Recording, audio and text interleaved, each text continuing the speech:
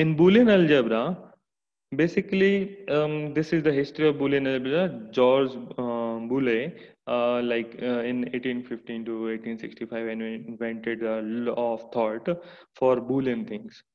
Okay, this th these are very helpful for um, like um, analyzing our expression and designing of circuit and based on these boolean express x uh, algebra and uh, their theorems we can minimize various expressions okay this uh, the uh, the thing is we are using literals uh, product term and sum term so see this sum term you already know that uh, plus or or or logic operations we are using. Product term, you already know that this we, we are using.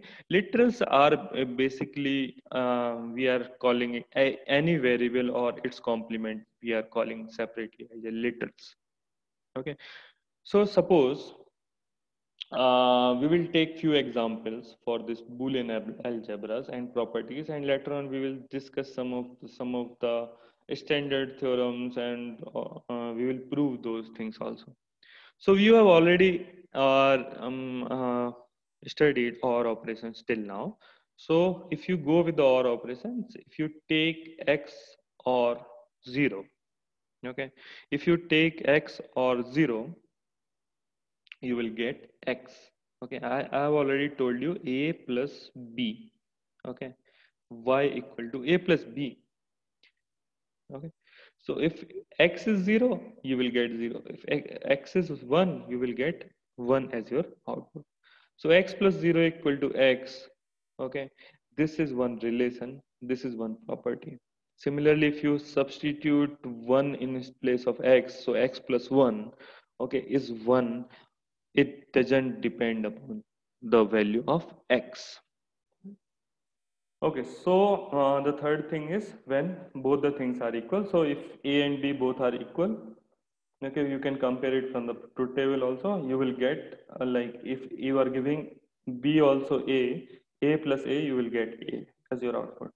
So basically this uh, second one is unitary property. This third one is idempotence uh, property. And this, if you give one X, another X bar, you will get one, that is complement. Okay. So if you are giving one another as one uh, complement of that one you will always get one. Okay. You can take example also like for uh, all those all those things you can get if you consider one case where x equal to 0 so this is 0 0 this is 1 okay. 0 complement. 0 plus 1 is 1 consider second case x equal to 1 okay this is 1 and this complement is 0 okay 1 plus 0 is 1 okay so whatever value of x you will take it will not depend upon value of x. If they are complement of each other you will always get 1 okay so in these, these this way i can uh, realize those things. Okay the next thing i'm going to like this dot operation okay. So uh, you already heard uh, you i already told you a dot b. Okay and operation. Okay, the same thing you need to apply here. If you are taking the value of b fixed to some one constant that is 1 and if you are applying um, uh, this equation a dot 1 is a similarly uh, x dot 1 is x. Okay and if you substitute b equal to 0 and a equal to x, you will get x dot 0 equal to 0. And if you both the things are same, that is x, and both the things are complement of each other, you will have 0. And if you take complement complement, like uh, if you take a bar, again you will take bar. So these bars will get cancel out and you will get a again or you can take any expression y and if there is y bar and if you again take one more complement your expression your complement will get cancel out and you will um, you will get um, y y at the end. Is that clear? So this this uh, uh, property these properties they have given uh, name like involution complement property uh, idempotence property zero property all those things so the till uh, property number six, all those properties are very, very basic properties which you can interpret all those things from like uh, AND operation and OR operation. This duality property is the very important one. Okay, listen this one carefully. Duality means if any expression is valid expression, okay, so what you can do, you can uh, convert it that expression into its dual form and that dual form is also a valid operation. Okay, this is the definition of duality uh, theorem. So for converting any expression into its dual form, basically you need to ex uh, means you need to change dot to plus. Okay, you need to interchange that plus to dot and dot to plus. And if you have some constant like 0 and 1, you need to interchange them also like 1 to 0 and 0 to 1. And you need not to change any variables. Okay. Or uh, like uh, if you have A or B or A bar, B bar, C bar, all those things, they will remain same. If that is C bar, they that uh, in the dual form that is C bar. If it is C, then the dual form also it is C. Okay. The only thing is you are changing dot and plus and one and zero if constants are there in your expression. For an example, I'm taking one example like if I, I have example like x bar y z bar plus x bar y bar z and I want dual of that one. Okay, dual of that one. So dual of that one will be here you can see that there are two dots. Okay, nothing is there means two dots are there. So I'm writing x bar dot I'm converting to plus y plus z bar. And this plus I'm converting into on uh, into dot. Okay, this is converted into dot. Again, this is x bar plus y bar plus z. Okay, so in this way, in this way i am uh, i am finding out the dual of any expression. Okay. Is that clear till now?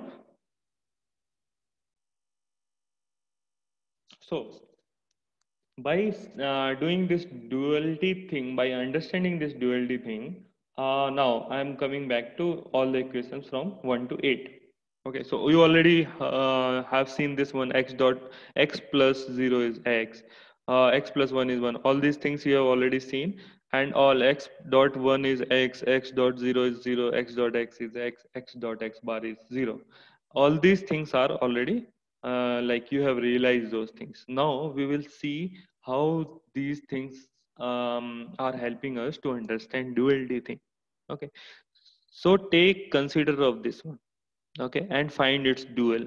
Like for dual thing this plus will be converted to dot this 0 will convert into 1 okay? So you will see that these two are dual of each other. Clear? Similarly if you convert its dual you will get this one. Okay? For conversion of duality whenever you are finding uh, plus you will convert dot. Whenever you are finding dot you will convert plus. 0 convert to 1 1 convert it into 0 okay you can do it in the reverse way also. You if you uh, take this expression and converts it into its dual form you will end up with a uh, left side equation. Okay so all these dual things are valid for this one also and this one also. Okay for this one 5 also 6 also 5 is the dual of 6 6 is the dual of 5 7 is the dual of 8 8 is the dual of 7 okay so with the dual thing, we can land up uh, to another another equation which are, which is also a valid equation. Okay, so these things will be helpful to us whenever we are like um, proving that one equation is uh, if one equation is valid, another some equation is also valid, or if, whenever we are designing circuits, we will see all those things. Okay, okay, so uh, some more laws are there. One is commutative law. Commutative law means either you write x plus y or y plus x. Okay, either you write x plus y or y plus x, they are same. Okay, In the same manner, either you write x dot y or y dot x. They are same. It is a commutative law. Associative law means either you take x plus y plus z and y plus z in bracket or x plus y in bracket. Okay. Or you write x dot y dot z where y z are in bracket or x y in bracket. They are same. Okay. This is associative law means you can interchange brackets. Okay distributive law is whenever you are doing x dot y plus z you can just open this bracket okay it's x dot y plus x dot z. Okay. Or whenever you are writing you you are writing x plus y dot z you can write x plus y and x plus z. Okay. If you are getting confused why this expression is a valid expression just take the dual of this one. Okay. In the place of dot place plus in the place of plus place dot. If this expression is a valid expression this expression is an also valid expression okay. So this is a distributive law. The same duality you can apply anywhere okay in any direction. Okay. So with the duality you can see that all uh, commutative associative distributive then the next one is de morgan's law. Okay. This de morgan's law means whenever like uh, if you're uh, if you are having a plus b and you want to do complement a full expression. It's basically a complement of individual one and by conversion of this plus into dot. Okay? This is first de morgan's theorem. Okay? Second de morgan's theorem whenever you are having dot and whole complement you can break it into individual complement but this dot will convert into plus.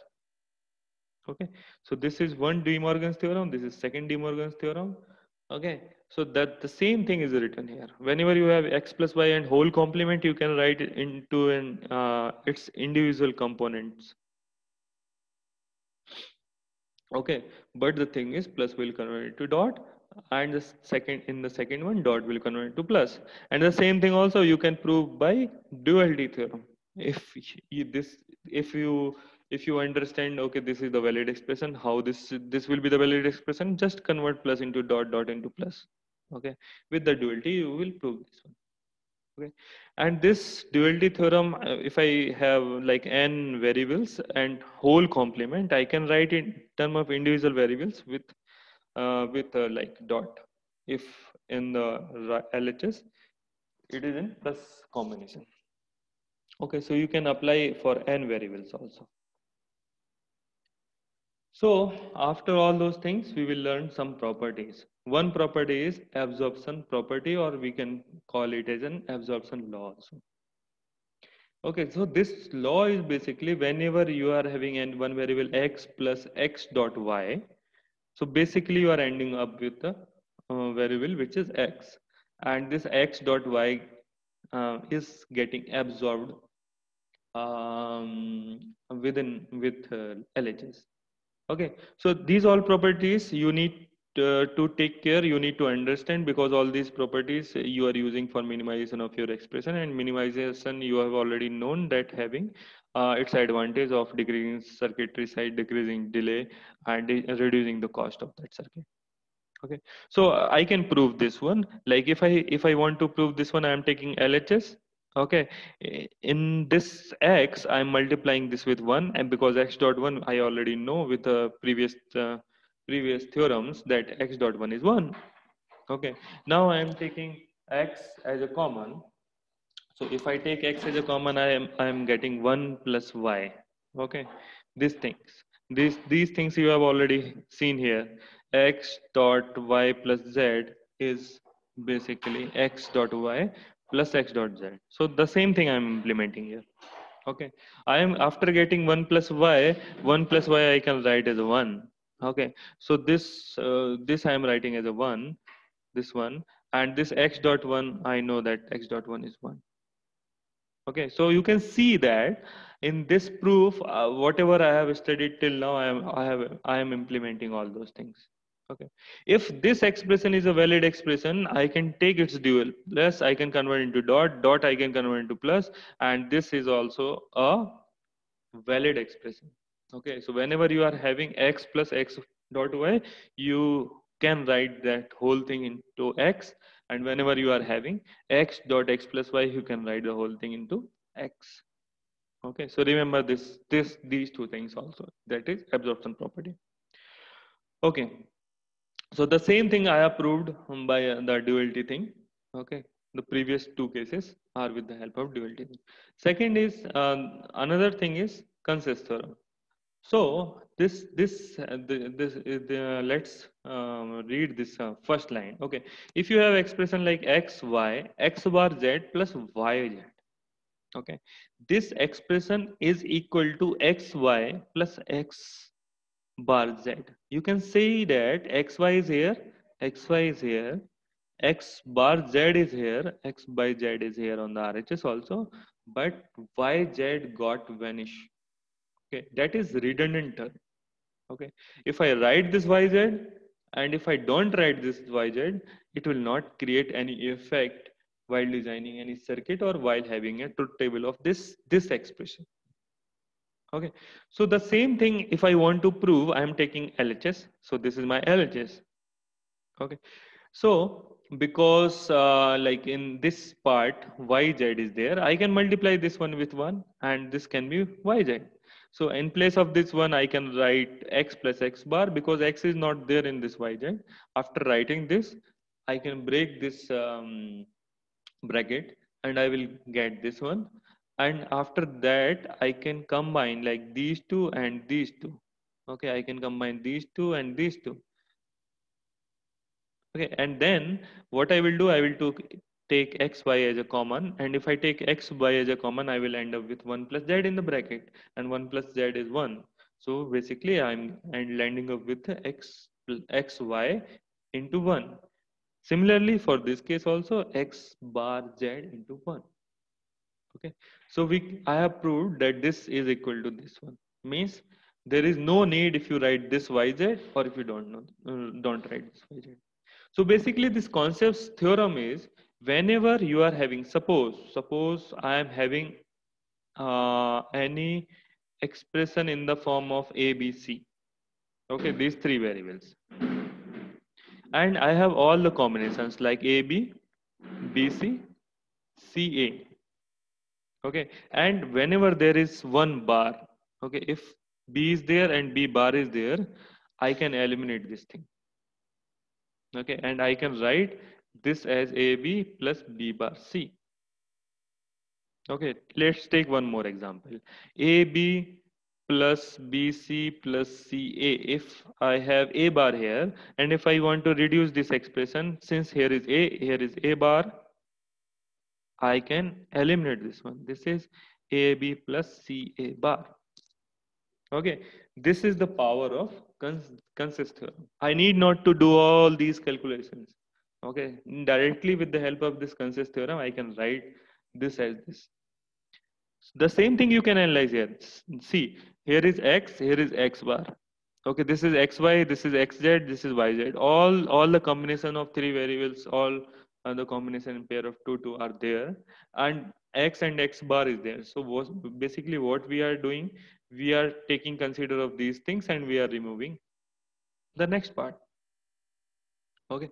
So the same consensus theorem this this uh, uh, for this thing we can uh, take the duality. If i take the duality it will be like this. Okay. And the same thing if it is in plus plus plus plus form okay i can do the same thing. Here is x plus y here is x bar plus z here is yz okay so i can neglect this yz and i will get this thing. Okay so if this expression is valid its dual is also a valid expression